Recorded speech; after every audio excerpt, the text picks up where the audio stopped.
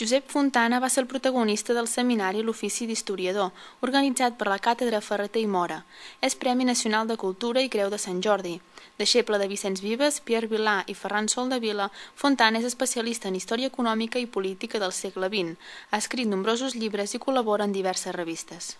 Jo aquí jugo eh, sabent que hi ha determinats coneixements que jo comparteixo amb la gent i que per tant només cal al·ludir-los. Eh, parlant amb un públic doncs, a Sòria o parlant a Salamanca necessitaria explicar-los coses que ells no saben per a, per a, per a rodonir això però en principi jo he anat dient coses eh, semblants amb aquestes normalment i sense trobar, sense trobar refús. Jo crec que aquestes coses que quan es raona eh, i no s'utilitza doncs, eh, un to eh, agressiu, la gent normalment escolta. Després els començats no els començats, aquesta és una altra cosa, però escoltat escolten. Depèn de quin passat i depèn de, de quina distància el passat i de la proximitat que tingui, però òbviament el problema és que cada moment que estem eh, vivint és una conseqüència immediata de coses que han passat anteriorment, eh, de manera que el pes de, de, de les trajectòries eh, del passat sobre el que passa avui són absolutament decisives. I sobretot eh, és molt important conèixer eh, eh, les errades que es van cometre per, per evitar de repetir-les, per exemple eh, no solament fàcil, suposo que la segueixen veient com una assignatura que en el fons no té cap interès, eh, com una assignatura de la qual no aprenen res que els serveixi per la seva vida. Això significa senzillament que la forma amb què s'ha amb què s'ha organitzat eh, l'ensenyament de la història era una forma equivocada, perquè tot allò que no sigui eh, estimular-los a, a pensar pel seu compte i a veure les coses pel seu compte és nul. Eh? És a dir, si saber història vol dir eh, saber eh, que un rei succeeix amb un altre i que en tal moment s'ha produït una batalla, això evidentment no té el menor interès per ningú. No és ni allò que en diem cultura, eh? no és res. Jo diria que vam perdre una, una gran aposta, una aposta fonamental, que no era solament per, per, per canviar nosaltres, sinó per, per fer una proposta eh, global de com havia de ser la societat espanyola a començaments del segle XVIII la van perdre. Però alguna cosa hi ha que, que, que necessita explicar-se de per què amb tantes dificultats, amb tantes oposicions, amb tantes contradiccions, s'hagi mantingut aquest, aquest sentit d'identitat, aquest sentit de voluntat de conservar la cultura, aquest sentit de ganes de tirar endavant i de, i de no abdicar de, del que ens fa ser eh, una mena especial dintre del conjunt de, de societats diverses.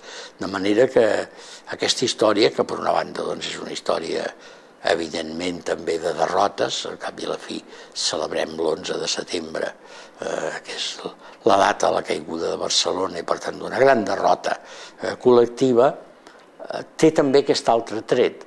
Eh, sovint doncs, eh, els, els vençuts són dominats.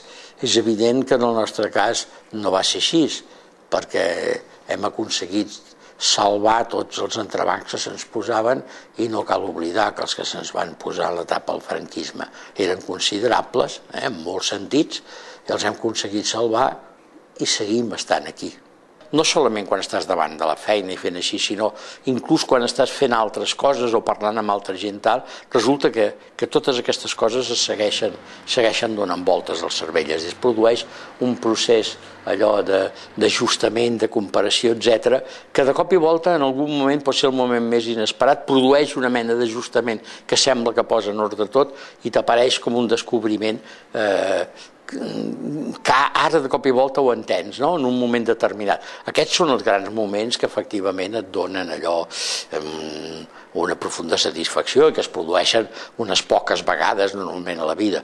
Hi ha altres moments de satisfacció que són sobretot els que es produeixen quan, quan, eh, per exemple, amb el contacte amb els estudiants aconsegueixes, les aquelles vegades que aconsegueixes de, de,